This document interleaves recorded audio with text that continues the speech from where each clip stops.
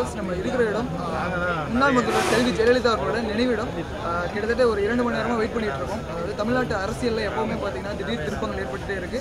So இப்போ என்ன திருப்பங்கள் ஏற்பட போகுது அப்படிங்கிறதுக்காக தான் வந்து காத்துட்டு இருக்கோம். குறிப்பாக சொல்லணும் அப்படின்னா தற்போதைய முதல்வர் எடப்பாடி ஆகட்டும் முன்னாள் முதல்வர் ஓபிஎஸ் ஆகட்டும் இருவரும் சேர்ந்து பேச்சுவார்த்தை நடத்த போகிறதா சொல்லி கூறப்பட்டாலும் ஸோ அவங்க வந்ததுக்கு அப்புறம் தான் தெரியும் என்னென்ன விஷயங்கள் பேச போகிறாங்க அப்படிங்கிறது. ஸோ இதுக்கப்புறம் தமிழ்நாட்டில் எந்த அளவுக்கு வந்து ஒரு அரசியல் அதிமுக எந்த அளவுக்கு வந்து ஒரு மிக பெரும்பான்மை பெறப்போகுது அப்படிங்கிறது எல்லாமே இனிமேல் தான் இப்போ எடுக்க போகிற முடிவில் தான் தெரிய போகுது.